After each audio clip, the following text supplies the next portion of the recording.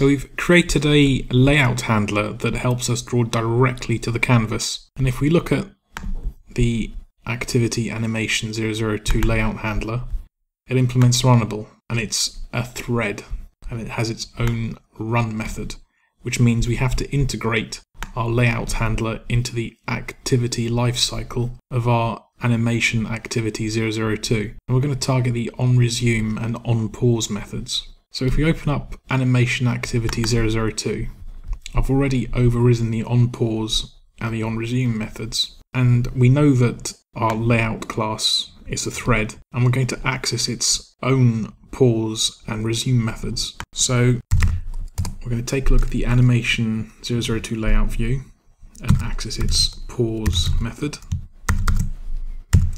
And we're going to do the same for the resume method.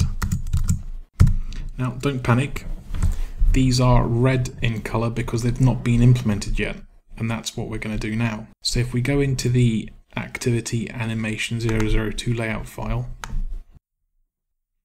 we can implement the methods here. So let's start integrating our layout handler with the activity lifecycle. When we first enter this class, we're going to want to know about its thread state and we're going to track it by using a thread object. And initially we're going to set that to null. We're also going to want to know if it's safe to draw. And we can track that by using a boolean. And I'm going to call that can draw. And initially I'm going to set that to false. The run method is where we're going to do most of our drawings. And it should be obvious at this point that if can draw is true we're going to carry out some drawing. But I'm not going to do any drawing in this tutorial, we'll do that in the next one. Let's take a look at the resume method. Slightly easier than the pause method. The first thing you're going to want to do when you resume this class, you're going to want to say that can draw is equal to true. And the resume method is called when you're creating this class. So it will definitely be set to true as you enter this uh, class. You'll also want to start the new thread.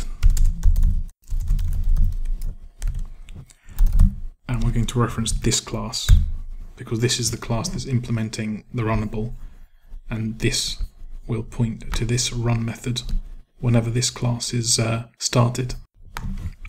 And then finally on the resume, we're going to want to start the method, the thread. Now, pausing is a little bit trickier. When you want to stop a thread, it's best to do it neatly. And there's a, uh, in the documentation, there's a member function called join, and that blocks the current thread until it's finished executing. So we're, we're going to use that. So let's tap in thread dot join. Ah, Android Studio is warning us that we need to surround it with a try and catch. When the on pause method is called, this pause member method would be called, and the thread will be asked to stop neatly, and if it doesn't, it will catch the exception and print a stack trace to let us know what's going on. But, uh, oh yeah, so just before you're going to want to set can draw to false. What if an exception is thrown? That means that this hasn't successfully run. And there are many reasons I think that uh, a thread may not close neatly. To harden your code, you might want to ask it to attempt it until it does close neatly. You can do that by surrounding it with a, a while true loop. Let's move that code in. And after all the closing has been completed, you'll want to set the thread to null. Oh, what's Android Studio complaining about? Un okay, so it's an unreachable statement. What we want to do is Within this loop, we want to try this thread joining. And if it completes well, it will move on to the next line and uh, we'll just break out of the while loop. And suddenly this thread equals null is now reachable. Great. Uh, if it doesn't break out, well, if it doesn't join successfully, it won't execute the break command. It will throw this exception and then it will run the loop again until it closes that thread. And that's it. That's how you integrate the layout handler with the activity lifecycle. And if we go back into our animation activity class, the pause and the resume methods are no longer red.